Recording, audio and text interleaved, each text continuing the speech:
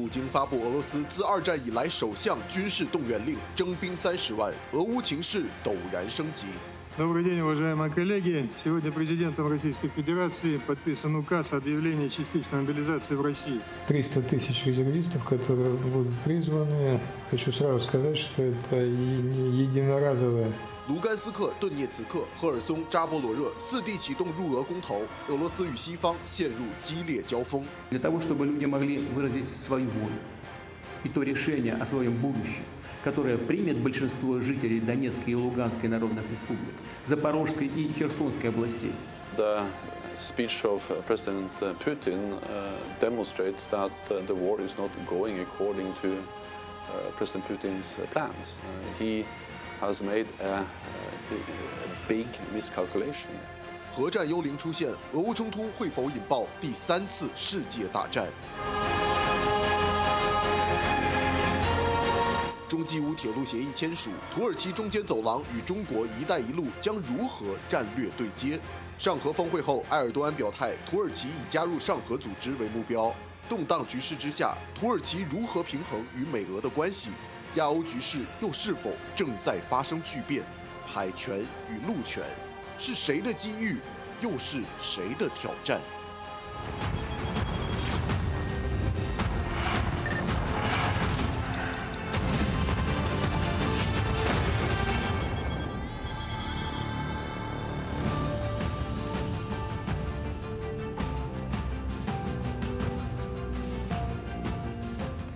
多元世界立体观察，大家好，我是李伟，欢迎来到空间观测。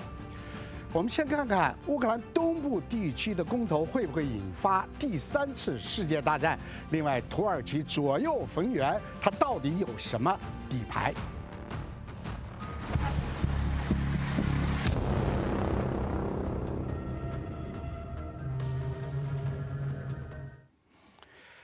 这个今天啊，乌克兰东部地区要举行公投，所以这俄乌之战呢要升级了，看样子。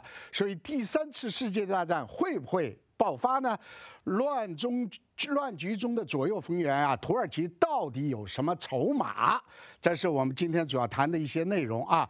啊，另外是普京总统宣布开始部分动员，主要是招那些啊会打炮的、会开枪的坦克兵啊、飞机维修员这一类的啊。另外，军工厂的老工人还要回去啊。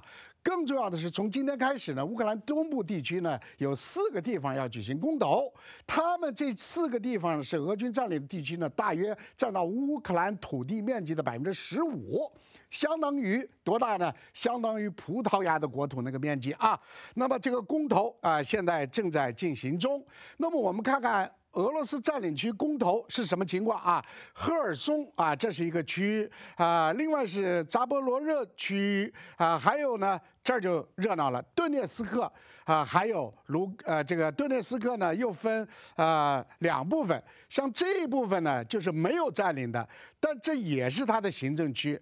然后上面是卢甘斯克，刚才我讲了啊，整个这个土地面积呢是相当于葡萄牙的土地面积啊，占到乌克兰。本土面积的百分之十五，那么这个蓝的地方呢，是这回乌克兰反击啊夺回去的地方啊，还夺回了一点地方啊，这是目前的最新状态。另外呢，一听说要动员参军了，我们现在发现呢，Google 啊这个网上啊搜索如何离开俄罗斯啊，顿时好多人在啊查询啊查询看怎么离开俄罗斯，而且俄罗斯的莫斯科飞往伊斯坦布尔的飞机票价大涨，另外还有飞往贝尔格莱德，贝尔德格莱德是塞尔维亚的首都啊，也特别多。更重要是芬兰啊，边境一天过境跑到芬兰的人就上千人，那么就看来好多人呢是不愿意打仗，所以呢，俄罗斯政府解释我们招什么兵，主要是预备役，虽然是人打算往外跑，哎，武器也在跑。我们注意看啊，这是圣彼得堡的地图啊，这圣彼得堡，圣彼得堡就是原来叫列宁格勒啊，我们看它这个地理位置，离芬兰就这么近啊。但是我们相片的卫星，我们的卫星拍到这个地方看呢，发现有一个军火库。这个军火库呢，主要是防空导弹，防空导弹的啊这个架子里都空了。证明他们的防空导弹和车辆都调走了，调到哪儿呢？哎，肯定是调到前线了。这是我们卫星啊发现一个叫清空的基地啊，这些基地我们都有相片看。你看这个白颜色的啊，就是导弹没有了；红颜色的导弹还有啊，就是看来生产比较紧张。所以，普京的大脑啊，就是普京的智库说啊，如果俄罗斯输掉啊乌克兰的战争呢，将会爆发核战争啊，那就是核核爆核战争一爆发呢，大家都没了。普京说过，如果俄罗斯不在乎，还在乎人类有没有？他都不在乎啊。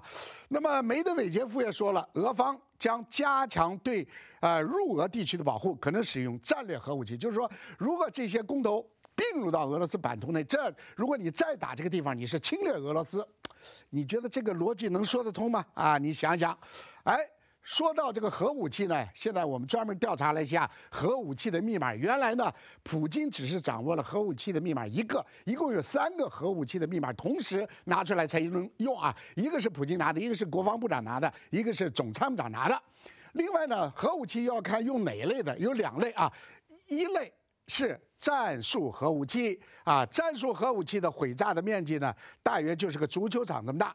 如果是战略核武器的话呢，毁掉的面积呢，就是整个的一个城市。哎，我们看看回到城市，这个凤凰有网友啊，怎么关心这个问题的？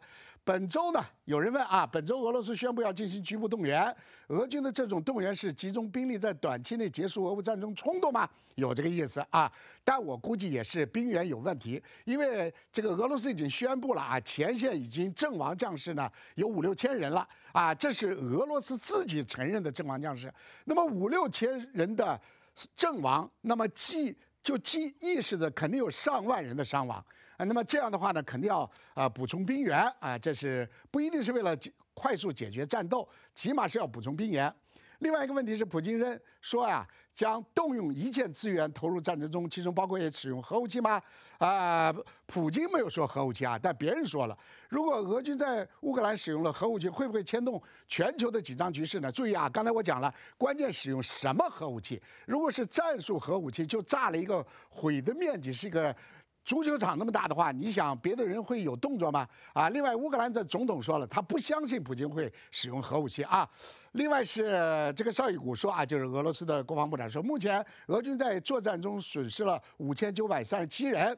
啊，以俄乌冲突的整体烈度，你觉得目前俄军损失的与进展成正比吗？啊，这个很难说啊，因为他是打一开始打的闪电战，后来变成阵地战，所以从这个阵地战和整个投入兵力来说啊，因为名义上俄罗斯投入十万兵力，现在是阵亡人数大约六千人。你看看这个比例啊，更何况是打了半年多，所以从这个比例数上讲呢，也并不是很多。更重要，还有十万多的人呢是当地的民兵啊。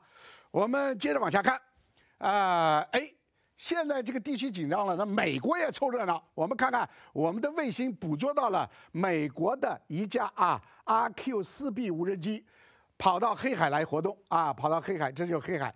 大家知道，这就是乌克兰啊，这就是乌克兰啊，这作战地区。美国的这个无人机跑到这个地方，很明显，看见没有？它的电子侦察范围是这么大的，很明显对战场去的。而我们的卫星也捕捉到一架这个俄罗斯的特种飞行支队也过来了啊。另外呢，还有一个飞机是谁呢？北约的 RQ 四 D 无人机从哪儿起飞呢？从美国的啊西海岸起飞。然后一直飞飞飞飞飞飞飞，哎，飞到哪儿呢？飞到意大利意大利的一个空军基地，到这儿来降落。所以你别看它啊是无人机，我们的卫星也能捕捉到啊。呃，不仅能捕捉到，我还能捕捉到它的线路。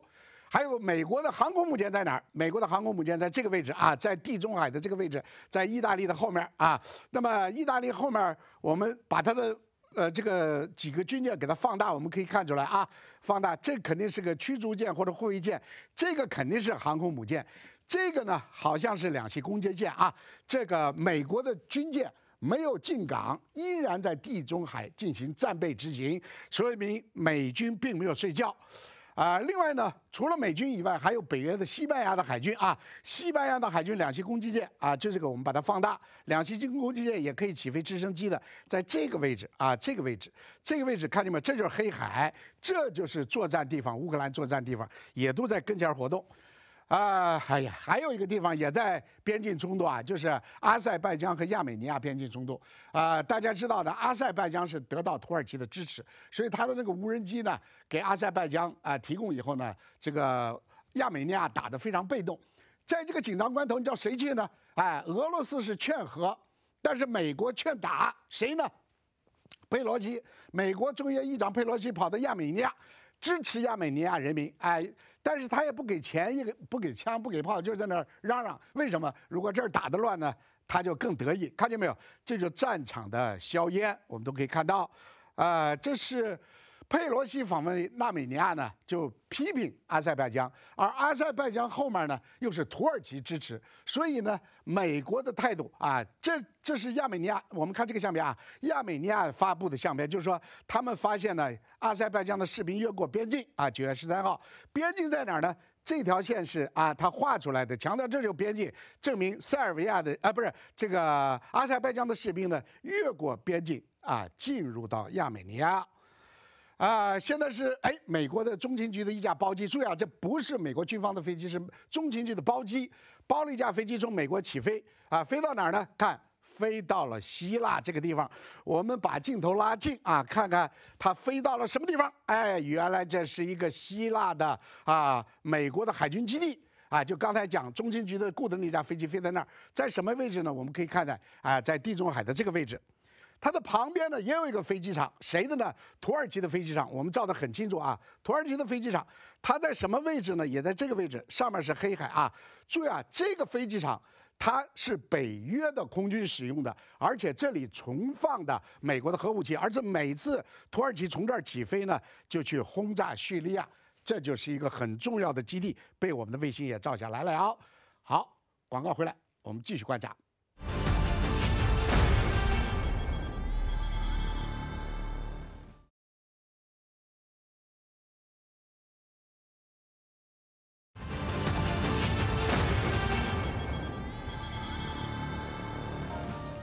在乌兹别克萨马尔罕举行的上海合作组织第二十二次峰会日前落幕。土耳其总统埃尔多安以特邀嘉宾身份参会，这也是土耳其自二零一二年获得上合组织对话伙伴国地位以来，首次有总统级别的领导人参会。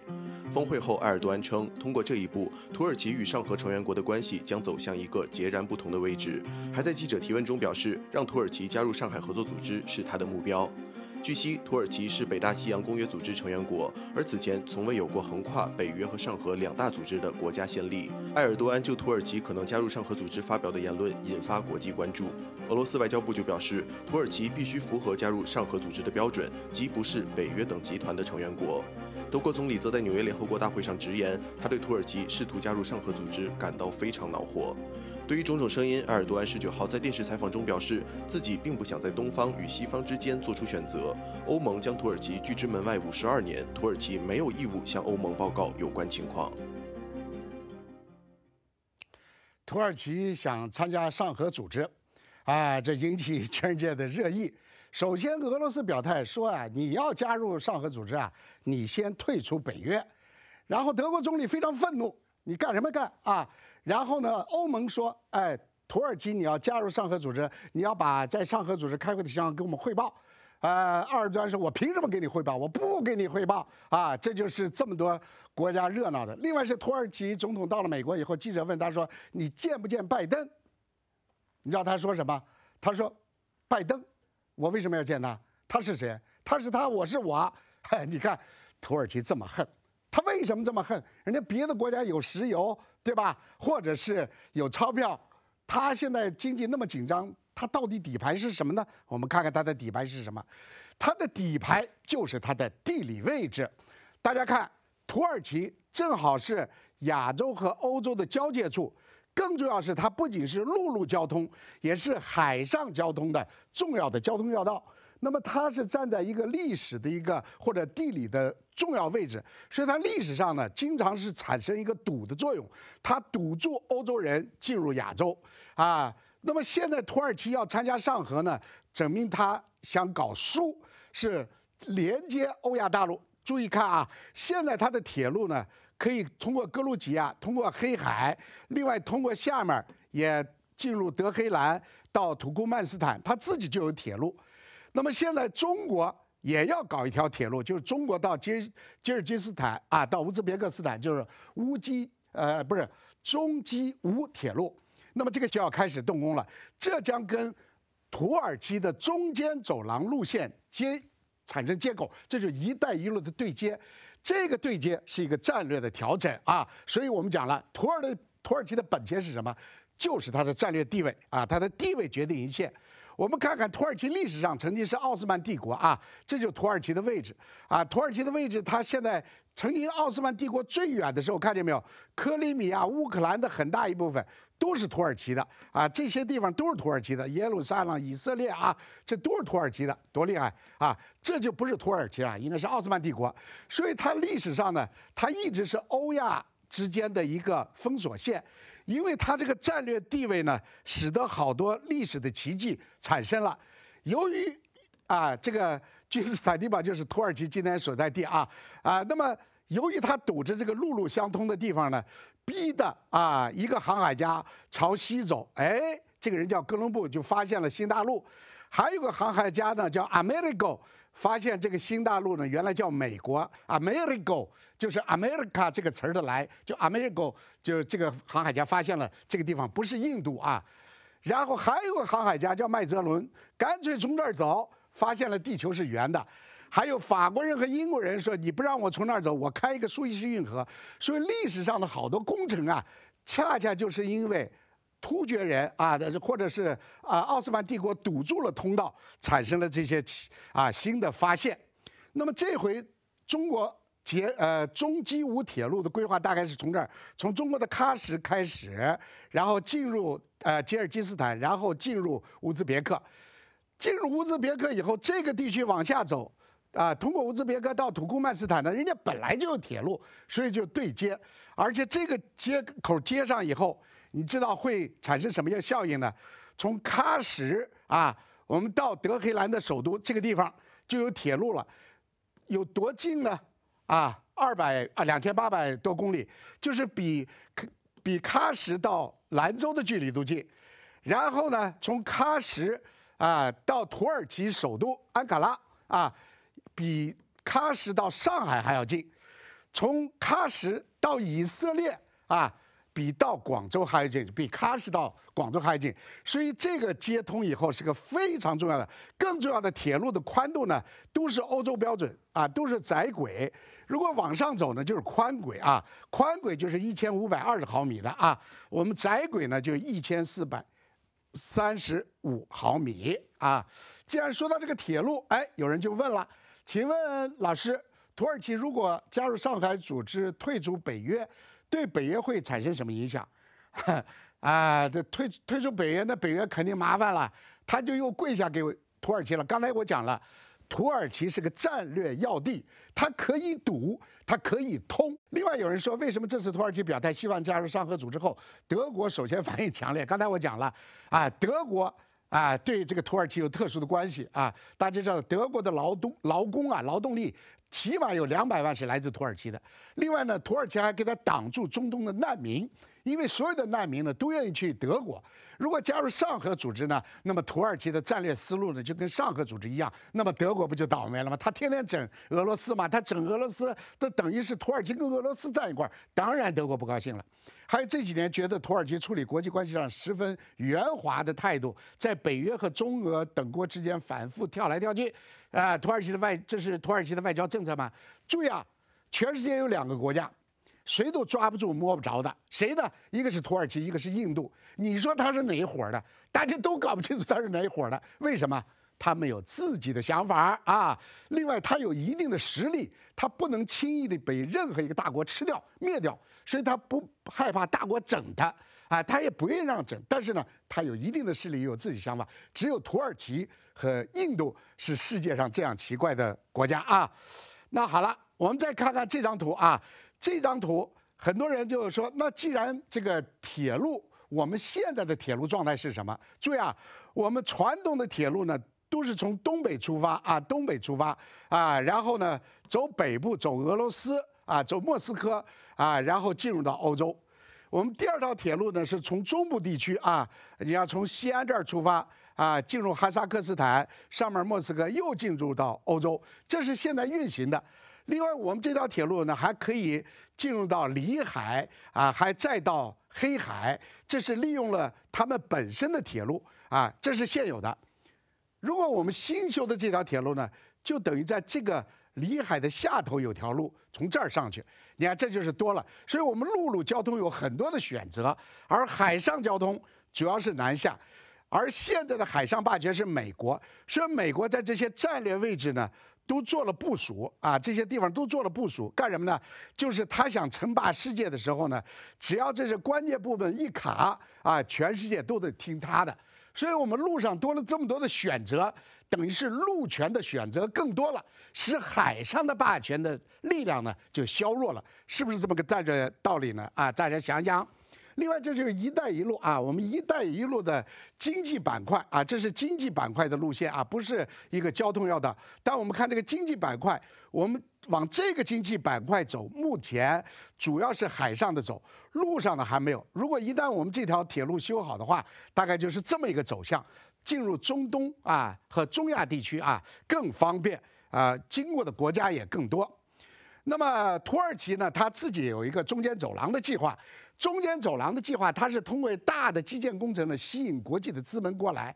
大家知道，现在土耳其的消费物价指数啊，就 CPI 呢，百分之八十啊，全世界老大啊，就通货膨胀非常严重，急需要找出一个经济的出路。所以它的中间走廊呢，是它一个很好的一个战略构思，就是向东向西要通，以后不堵人了。其中他想修一个运河啊，运河从这儿走。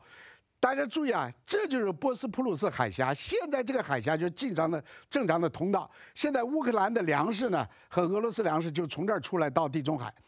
但是呢，因为土耳其这个通道不能堵，因为它是个战败国，在第一次世界大战，所以这个堵不能堵。但是他想，如果我修条运河，我就不受这个国际公约的呃约束。有一天我放一条沉船挡住这儿，你们都从我这儿走，我就好收费。因为这儿的费，土耳其现在也涨价了。现在过桥费就过这个河的费啊，增加了五倍啊。我们看看有报道啊，看。